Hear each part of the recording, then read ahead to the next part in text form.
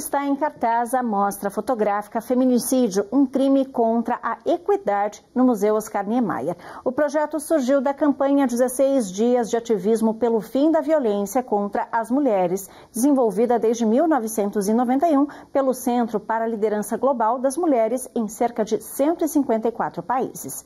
Aqui no Brasil, a campanha acontece de 20 de novembro a 10 de dezembro. As atividades também fazem parte do encerramento da primeira temporada da Caravana Paraná Unido pelas Mulheres, promovida pela CEMIP.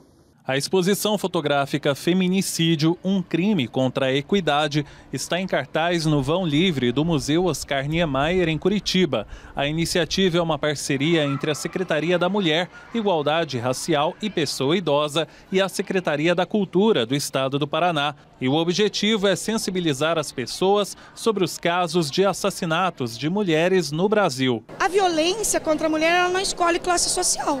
É lógico que aquelas que têm mais notícias notoriedade nacional quando sofrem violência ou casos de feminicídio como os que a gente vai apresentar aqui, ganha a repercussão na imprensa, tanto nacional quanto internacional.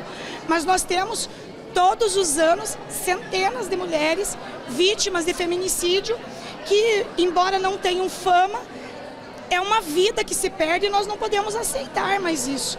É, então, a gente poder trazer essa amostra fotográfica é justamente um grito por justiça, por equidade, por igualdade de gênero. E tudo isso começa no combate à violência. A transformação se dá pela área cultural. A arte sensibiliza as pessoas. E eu tenho certeza que esse momento ele é fundamental na conscientização e na sensibilização do público que estará aqui no Museu Oscar Niemeyer durante o período da exposição. Nas fotos e recortes de jornais, vítimas da violência que afeta milhares de mulheres brasileiras. A mostra quer evidenciar esse problema e incentivar as denúncias. O projeto segue em exibição até 17 de dezembro.